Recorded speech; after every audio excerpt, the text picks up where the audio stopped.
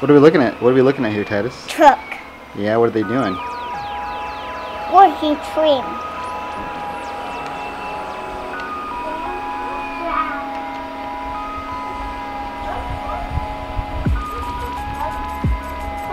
Truck? Dad, Mm-hmm.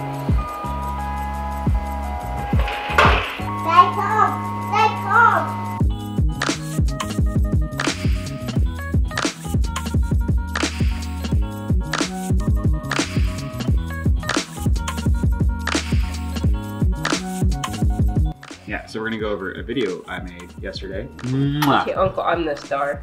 You are the star, right? Um, just a coffee montage.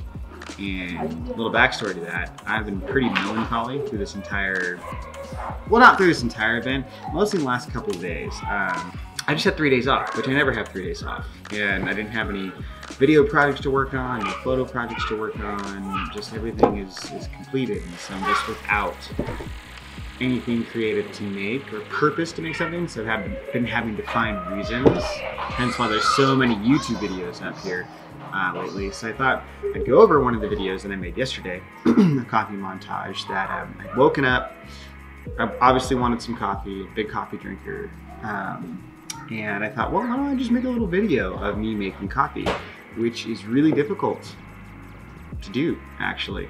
Um, or it might just be harder to do when you're just woken up and trying to put it together at the same time. Create something and wake up while feeding your kids um, very tricky. So anyways i'm gonna go over some of that right now and um, around here. So this opening scene here just makes something right here. Just make something. This whole scene here an idea comes from a little instagram video story video series story thing i was doing i was doing back on maui. Uh, creating content there and just uh, the idea is just make something. Just go out and do something. Doesn't matter what it is doesn't matter what it's about everything's got kind of a story to tell. Every day has a beginning a middle and an end. And there's all these little stories that happen in between. All the little micro interactions we have with people relationships the things we do whether it's prepping uh, whether it's coffee or um, making a meal. Yeah there's all kinds of stuff you can do. Just make something. So yeah let's just make something our opening scene there. Um, and this jumps into you, this like pull away slider shot of our heart coffee from uh, from Heart Coffee Stereo Blend, um, which is super great. Not a sponsor yet. Um, yeah, and so when we shot this was one just kind of long pull back and then speed ramped out and then zooms back in. Really, that's just that same clip played in reverse, zooming back in. And really, if I was going to do that better, I'd probably you know, one, get a slider, and if I don't have a slider, because I don't, or if you don't have a slider and you want to do a similar shot like this, a great way to do that would be to get like a rag, bag of beans or something, place that underneath your camera, try to make it as level as possible, or shoot in such a way where you can crop in later, and just slide that guy back and slide that guy forward. You'll find it very smooth, very stabilized, and it looks super clean. So that's one of the first things I would do better right off the bat. The next thing I would do is I try to shoot this coffee bean shot here um, at 120 frames. And so the camera I'm using is the Canon EOS R, and it can do 120 frames a second, um, but only in 720, which actually looks really good. But the way I would have done this better was probably had like somebody else hold the camera for me and maybe do kind of like a swooping kind of like circle shot around in the same area the coffee was at. So the first thing you notice when we change angles here is it looks, it feels very janky. We go from having this really, really nice top-down lighting with this really cool backlight, and then we switch over to this very warm, very shadowy, very grainy looking shot here. Um, and that way we could have seen the coffee beans falling a little bit more. Um, and I would have added more um, SFX or sound effects here, like the sound of the coffee beans hitting, hitting the container here would have been really cool.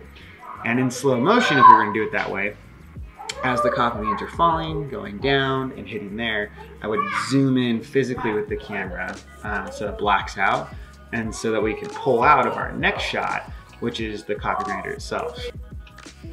This next scene here is with our little pulse grinder, which isn't a great way to grind coffee, nor is it very aesthetically pleasing. Um, what I probably would have liked to have done is use like a little burr grinder and in that zoom out shot kind of spin out maybe into like spinning the grinder Um, that way you can kind of get more of a, a, smoother transition. And that was kind of a the idea behind shooting a lot of this is trying to do as many in-camera transitions as possible, as opposed to some of the um, the purchase ones I have and I have used in previous videos. Not that those are bad, um, they all have their place, but um, the more you can do in camera, the better I think, and it creates a better story, more seamless.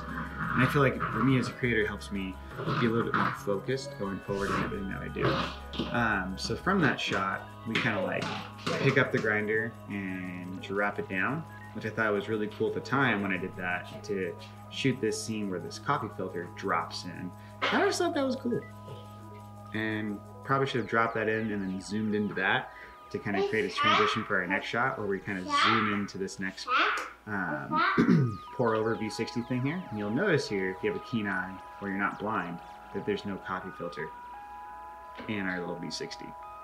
So yeah, that was a that was a mistake. It was just early. There's no reason why that should have happened. That's pretty inconsistent, but um, also, this the motion here isn't very fluid. And what I was finding to be really difficult was having my uh, lens and this lighting keep focus that quickly. So I'm thinking maybe a solution for that would be doing that push much slower, letting the camera track, track, track, track, track, track, track.